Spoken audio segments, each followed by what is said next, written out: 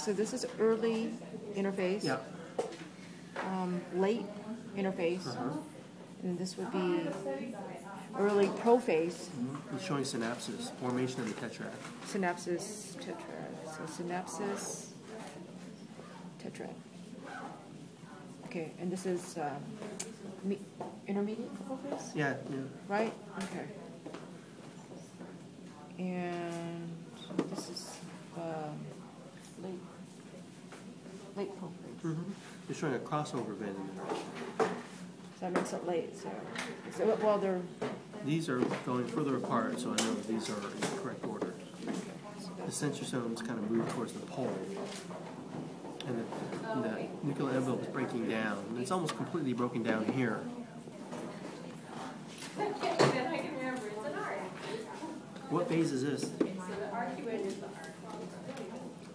that's um, prophase. So metaphase. One or two? Metaphase one.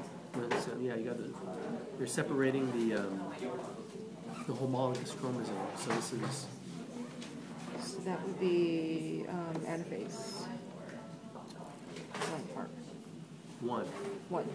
Good. What's this? And this is um, telophase. One. Correct. Deforming the nuclear envelope. This? That's uh, pulling apart. So anaphase. Two. Two. Two. We're Okay. pulling apart the uh, sister chromatids. So the main difference is sister chromatids for 2 versus the chromosomes.